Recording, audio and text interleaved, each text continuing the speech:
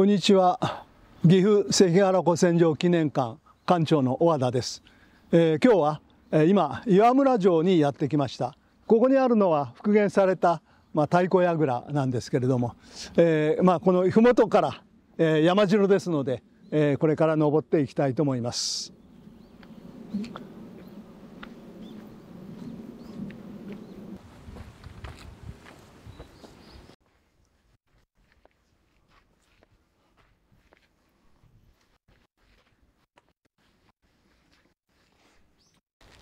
今いるのが1番ですのでここですね。で、えー、ここからあこの坂道をこれから登っていきますがあの途中まあね、えー、三十櫓だとかあとまあ霧貝だとか、まあ、そういったところをねご案内したいと思います。それじゃあ登っていきます。はい、えー、ずいぶん歩いてきました。登ってきました。え今畳橋というね案内板がありますがあ石垣も見事ですね。ここに再現 CG ビューアーっていうのがありますのでえちょっとやってみたいと思います。えっ、ー、とここですね。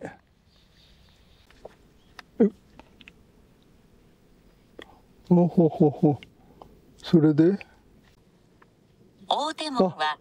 櫓門と胸門を直角に組み合わせた外増型門です前面にかかる橋は敵が攻めてきた時に畳を上げるように橋板を取り外すことができたことから畳橋と呼ばれています。城内唯一の三重櫓は一の門を突破し大手門に迫る敵に強力な射撃を浴びせる防御の要です。城下町から城を見上げると最もよく見える場所にあり天守の役割も果たしていましたはいじゃあ中へ入っていきましょう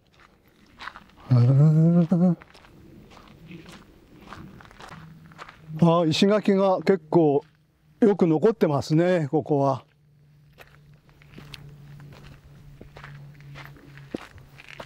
よいしょ。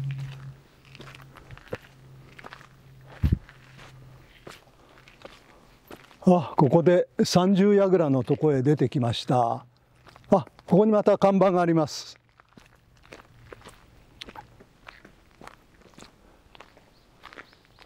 あ大手門三十櫓ということであの高みのところが櫓があったところですね。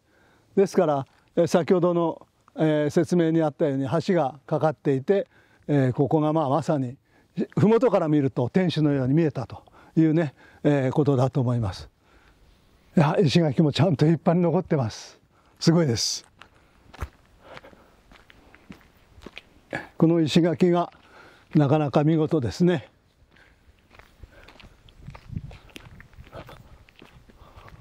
はあ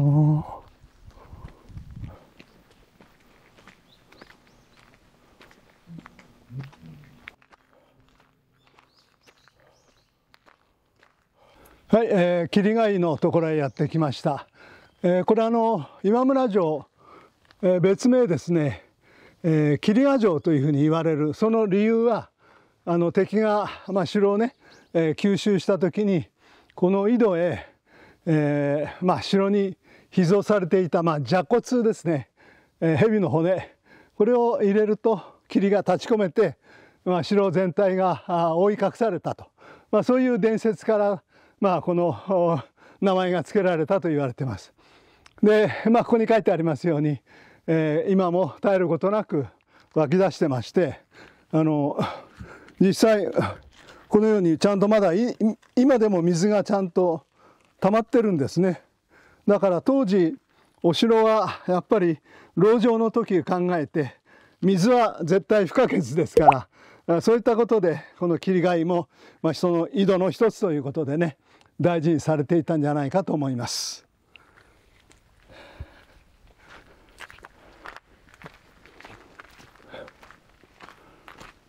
じゃあ本丸の方へ参ります。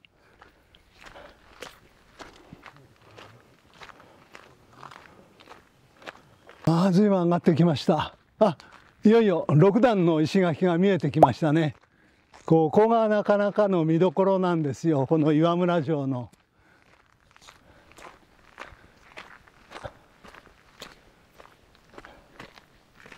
はい、えー、この六段壁なんですけれども、えー、昔から六段このようになっていたわけではなくて江戸時代の後期になって石垣の崩落を防ぐために、えー、このように前に、えー、ちょっとまあ何て言うのかな補強したというような感じだと思います。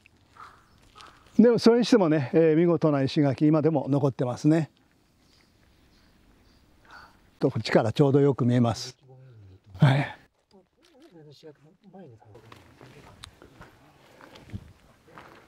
よいしょ。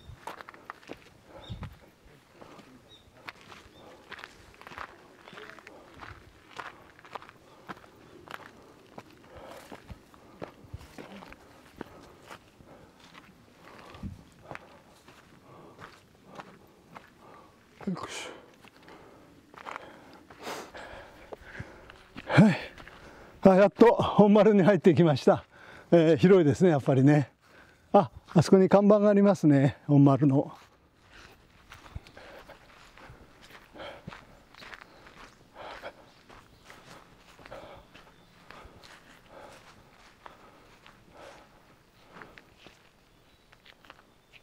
あここのあれですね本丸のところに今私立ってるわけで、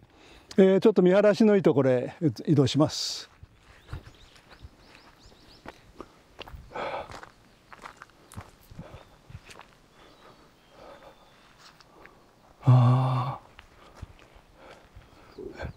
城下がよく見えますね。あそこから上がってきた さすがすごいですね。山城です。えー、今日はですね先ほど来登ってきましたが、まあ、女城主の城として有名な、まあ、岩村城に来ておりまして、まあ、これはあの日本城郭協会が選定した、まあ、日本百名城にも入っております。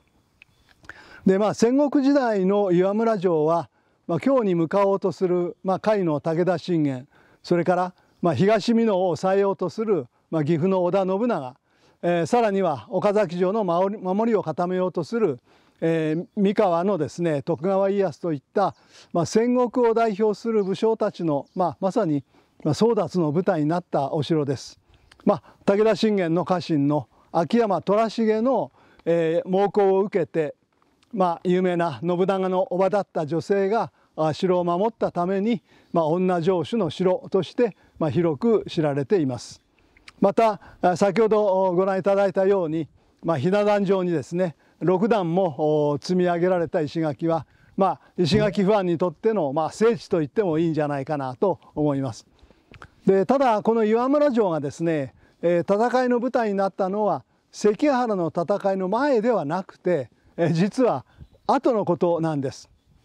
で関原の戦いの頃、まあ、この岩村城の城主だったのは、まあ、苗木城のところでも名前が出た田丸忠政、まあ、直政とも言ってます。名乗りがですね、まあ、資料によっていろいろなんですけれども、えー、石高は約4万石でした。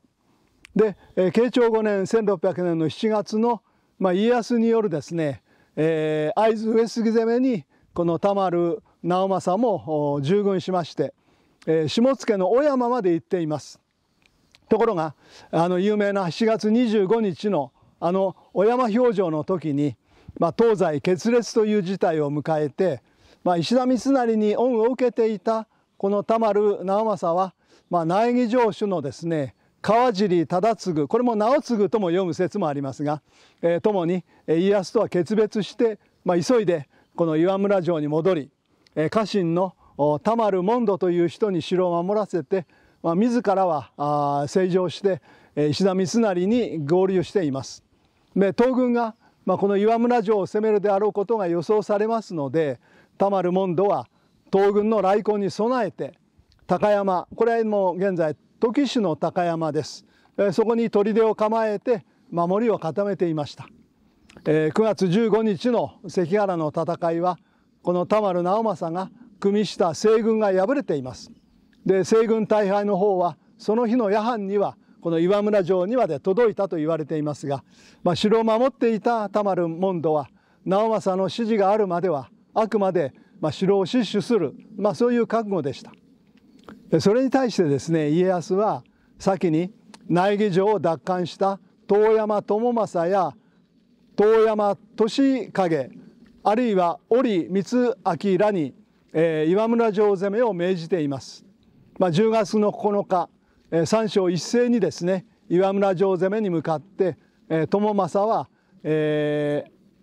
ー、秋それから飯浜の間に兵500で布陣して利景光明は兵300で岩村城の、まあ、南に布陣をいたします。その頃城を守る田丸門徒の兵はおよそ300ほどでしたところが、えー、戦いになる寸前直政からの使者が、えー、天下の体制は消したので、えー、開示をするようにという指示がありまして、まあ、門徒は、えー、遠山友政に無血開城の意思を伝えたところ、まあ、友政もそれを受け入れて、まあ、城兵は城を出て戦いは終わっています。まあ、そのような形でですね、えー、動きがあったわけです。なお今回は尋ねませんけれども慶長5年の1600年の8月12日から9月1日にかけて土岐市の高山砦でも東西両軍の戦いが繰り広げられています。